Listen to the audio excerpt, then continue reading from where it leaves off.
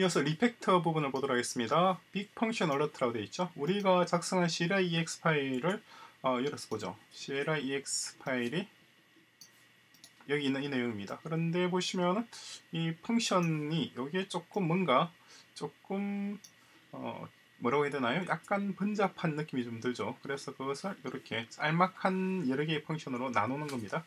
이것을 이제 refactor라고 표현해요.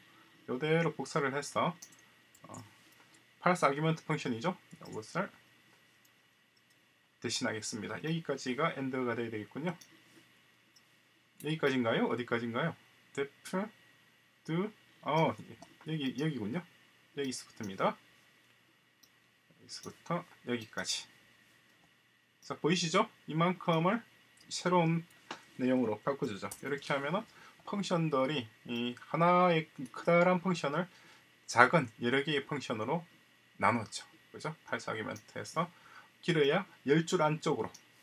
길어야 10줄 안쪽에 있는 펑션들로 나눴습니다. 내용은 똑같습니다. 읽어보시면 달라진 건 없어요. 단지 조금 더 간단하게 그리고 이전의 케이스 문장을 이렇게 펑션 방식으로 바꿨습니다. 지난 에피소드에 공부했던 거 기억나시죠? 그 내용입니다. 자 그리고 마찬가지 제대로 동작하는지 볼까요? 어, 믹스 테스트 다시 동작시켜보면 알 수가 있겠죠? clear 믹스 테스트 역시 제대로 잘 동작하고 있습니다. 이렇게 코딩 하시면서 계속해서 여러분들은 제가 하는 것처럼 그대로 따라서 하시면은 어, 코드에 오타가 들어가거나 그런 부분을 여러분들이 지금 사전에 찾아낼 수 있을 거예요. 나중에 파일이 커지게 되면은 어, 프로젝트가 진행되면서 파일이 커지게 되면은 어디서 잘못됐는지 모르는 그런 경우가 생겨요. 그래서 수시로 이렇게 테스트를 해봐야 됩니다.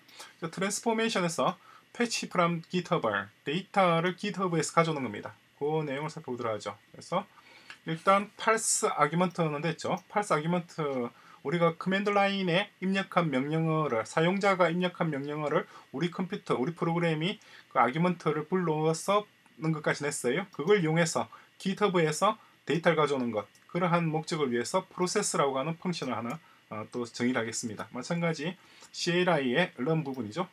Run에서 parse argument 이렇게 넣어줘야 되겠네요. 그럼 이렇게 바꿔줘야겠네요. 통째로 그대로 복사해서 복사해서 이렇게 바꿔주고 그리고 프로세스가 지금 현재 없으니까 에러 메시지가 떠 있죠.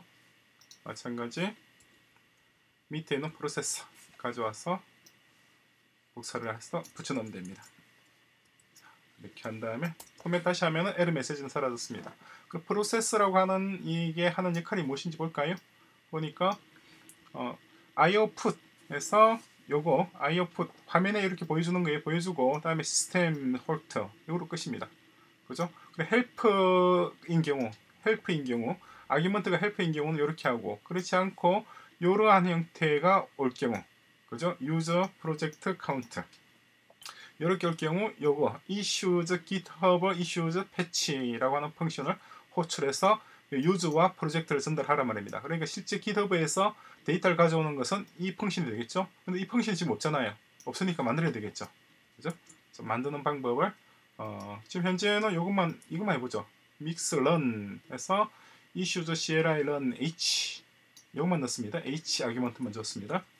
자, 그렇게 해서 돌려보면은 보다시피 일단 H는 잘 동작을 하고 있죠. 그죠? 첫 번째에 걸렸습니다. 그런데 얘는 동작하지 않겠죠, 당연히. 그죠? 지금 보시는 요, 요 내용, 요 내용은 여기 있는 이 내용이 그대로 출력된 겁니다. 그렇죠? 자, 제대로 잘 동작을 하고 있습니다. 동작을 하고 있는데, 어, 그렇다면 요 GitHub Issues Patch라고 하는 펑션을 어떻게 작성하고 그리고 얘를 어떻게 불러올 것인지를 생각을 좀 해야 되겠죠, 그죠? 일단 이렇게 넣었을 때는 어떻게 될까요? 이렇게 넣었으면은 얘는 두 번째 여기 아무것도 없으니까 에러가 뜨겠죠. 당연히 에러가 뜨죠. 에러 안 뜨네요. 제 컴퓨터가 느려서 지금 에러가 안 뜨고 있습니다. 아, 좀 이따 보도록 하겠습니다. 어쨌거나 이러한 파일을 만들어야 됩니다. 그것이 다음 단계 라이브러리 스텝 2에서 다룰 주제예요. 자 다시 한번 볼까요? 에러가 떴는지 자 이렇게 에러가 떠 있습니다. 그죠? 자 이런 에러가 안 뜨도록 해야 되겠죠? 여기에 걸렸을 때도 그대로 제대로 동작하도록 구성을 할 겁니다. 그리고 지금 이 과정, 이 과정은 조금 전에 우리가 이전 에피소드에서 봤던 이 그림 그대로입니다. 그러니까 수시로 요 그림을 참조하셔가지고 그죠? 그림을 참조해서 요 그림대로 지금 진행해 나갈 거예요. 여기 스텝 1, 스텝 2, 스텝 3, 스텝 4, 스텝 5 이렇게 진행을 합니다. 그러니까 이 단계 현재 여기까지 했어요. name project에서 하나의 tuple이죠. tuple을 return할 수 있는 parse라고 하는 function을 parse argument죠. parse argument라고 하는 function을 하나 정의한 것. 이것이 스텝 1입니다.